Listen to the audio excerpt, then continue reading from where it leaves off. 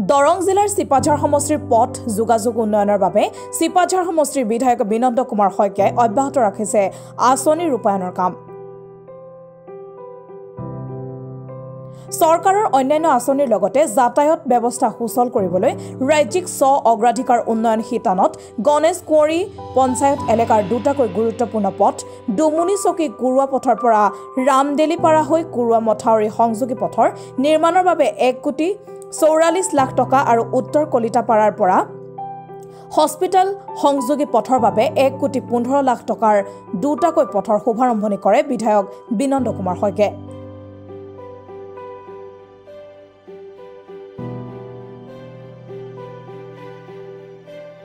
অন্যহাতে চিপাঝাৰ সমষ্টিৰ পৰ্যটন ক্ষেত্ৰৰ অন্যতম স্থান কুৰুৱাবাৰ তামোলবাৰী বনভোজস্থলীলৈ যোৱা পথ আৰু মৰমী চকৰ পৰা ওপৰ কুৰুৱা বনভোজস্থললৈ যোৱা পথ দুটি দুহেজাৰ ঊনৈছ বিছ বৰ্ষৰ অসম দৰ্শন আঁচনিৰ অধীনত এক কোটি ঊনষাঠি লাখ টকা ব্যয় সাপেক্ষে নিৰ্মাণৰ শুভাৰম্ভণি কৰে বিধায়কগৰাকীয়ে। লোক নিৰ্মাণ বিভাগে আয়োজন কৰা শুভাৰম্ভণি অনুষ্ঠানটোত বিধায়কগৰাকীৰ লগত উপস্থিত থাকে লোক নিৰ্মাণ বিভাগৰ চিপাঝাৰ আৰু কলাইগাঁও ক্ষেত্ৰীয় পথ সংমণ্ডলৰ কাৰ্যবাহী অভিযন্তা বিজয় ভূষণ শইকীয়া সহকাৰী কাৰ্যবাহী অভিযন্তা ভাস্কৰ চহৰীয়া প্ৰমুখ্যে লোক নিৰ্মাণ বিভাগৰ বিষয়াসকল আৰু অঞ্চলটোৰ জ্যেষ্ঠ নাগৰিক আৰু স্থানীয় ৰাইজ। শুভাৰম্ভণি অনুষ্ঠানত বিধায়কগৰাকীয়ে গ্ৰাম্যাঞ্চল সামগ্ৰিক উন্নয়ন হ'বলৈ হ'লে যোগাযোগ ব্যৱস্থা উন্নীত হ'ব লাগিব যাৰ বাবে তেওঁ গ্ৰামাঞ্চল পথ যোগাযোগৰ ক্ষেত্ৰত গুৰুত্ব প্ৰদান কৰা বুলি বিধায়ক বিনন্দ কুমাৰ শইকীয়াই মন্তব্য কৰে। আজি আমাৰ চিপাজাৰ বিধানসভা সমষ্টিৰ অন্তৰ্গত গণেশকুৰি গাঁও পঞ্চায়তত কেইবাটাও গুৰুত্বপূৰ্ণ আঁচনি আজি শুভাৰম্ভণি কৰা হৈছে। তাৰে ভিতৰত খলি হৈ বড়োচুবাৰ পৰা ৰামদেলি পাৰা হৈ ননৈ মাথৰিলৈকে যোৱা দুই কিলোমিটাৰৰো অধিক পথৰ পকীকৰণৰ শুভাৰম্ভণি আৰু কাম ইতিমধ্যে অগ্ৰগতি লাভ কৰি আছে। দ্বিতীয়তে আমাৰ কলিতাপাৰা গাঁৱৰ উত্তৰ কলিতাপাৰাৰ এটা পথ আৰু যিটো হস্পিটেল সংযোগী পথ এই আটাইখিনি পথৰ আজি শুভাৰম্ভণি কৰা হৈছে। অৱশ্যে এইটো আনুষ্ঠানিকতা কাৰণ আমাৰ কাম কিছু দূৰ আগবাঢ়ি আছে। ইতিমধ্যে প্ৰায় পঞ্চাছ ষাঠি শতাংশ কাম আগবাঢ়ি গৈছে। আজি আনুষ্ঠানিকভাৱে শুভাৰম্ভণি কৰি মই যথেষ্ট আনন্দিত হৈছোঁ।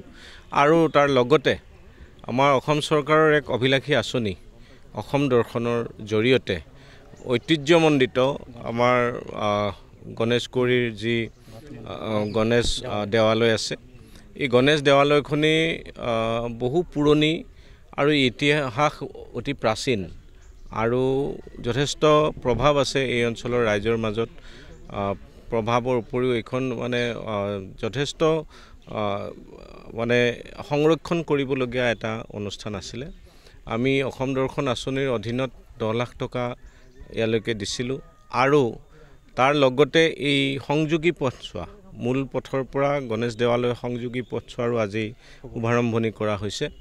আৰু ইয়াত আমাৰ অনুমোদিত ধন আছিলে ছয়ত্ৰিছ লাখ ছয়ত্ৰিছ আছিলে ন? আমাৰ কিমান আছিলে এইটো ধনটো?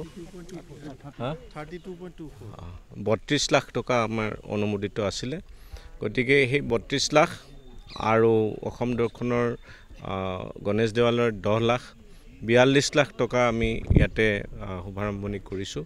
আৰু আপোনালোকে দেখিছে যে এই পথছোৱা যিখিনি সংযোগী পথ সুন্দৰকৈ নিৰ্মাণ হৈ আছে। আৰু মই সঁচাকৈ আনন্দিত যে আমাৰ অসম চৰকাৰৰ যিটো অভিলাষী আঁচনি আছিলে অসম দৰ্শন যাৰ জৰিয়তে অতি পুৰণি যিবিলাক আমাৰ কীৰ্তিচিহ্ন আছিলে বা মঠ মন্দিৰ দেৱালয় ইত্যাদি আছিলে এই গণেশ দেৱালয়খন বহু অনাদৃত হৈ আছিল আগতে আৰু যথেষ্ট জয়াল পৰিৱেশত আছিলে। ইয়াক আজি এটা বেলেগ ৰূপত আমি প্ৰত্যক্ষ কৰিবলৈ সক্ষম হৈছোঁ।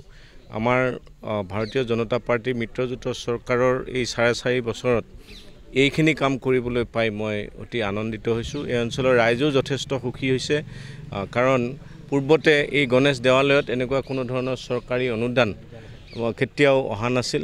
পূৰ্বৰ চৰকাৰসমূহৰ দিনতো অহা নাছিল। গতিকে আজি এইখিনি কৰিবলৈ পাই মই আনন্দিত হৈছোঁ। আপোনালোকে চাব এক কোটি চৌৱাল্লিছ লাখ আমাৰ যিটো ৰামদেলি পাৰা যিটো পথ আছে সেইটো পথত এক কোটি চৌৰাল্লিছ লাখ এক কোটি চৈধ্য লাখ টকা উত্তৰ কলিতাপাৰা ৰাস্তাটোত আবণ্টিত আৰু ইয়াত দহ লাখ টকা আমাৰ যিটো আমাৰ গণেশ দেৱালয় সেইটোত আৰু লগতে সংযোগী পথছোৱাৰ কাৰণে বত্ৰিছ লাখ টকা। দেখা গৈছে যে মানে দ্ৰুত হাৰত উন্নয়ন হৈছে। ইয়াৰ কৃতিত্ব কৃতিত্বটো আপুনি কাক দিব এতিয়া? নহয় এয়া আমাৰ অসম চৰকাৰৰ অভিলাষী আঁচনিবিলাকৰ কাৰণে এইটো হৈছে। আৰু আমি পৰ্যাপ্ত ধন পাইছোঁ। কাৰণ ইয়াৰ আগৰ চৰকাৰৰ সময়তো মই বিধায়ক আছিলোঁ। তেতিয়া আমি এনেকুৱা ধন পোৱা হ'লেতো সমষ্টি আৰু বহুত বেলেগ পৰ্যায়লৈ গতি কৰিলেহেঁতেন। তেতিয়া আমি চৰকাৰৰ পৰা ধনৰ নামত একোৱেই পোৱা নাছিলোঁ বা এনেকুৱা ধৰণৰ অভিলাষী আঁচনিও সেই সময়ত চৰকাৰৰ নাছিল। গতিকে ভাৰতীয় জনতা পাৰ্টীৰ চৰকাৰ অহাৰ পিছতহে এই আঁচনিবিলাক এতিয়া আহিছে। আৰু লগতে ৰাস্তা ঘাটৰ ক্ষেত্ৰত আমি এটা বেলেগ ধৰণৰ অভিলেখ এটা কৰিবলৈ সক্ষম হৈছোঁ এটা বিপ্লৱ হৈছে।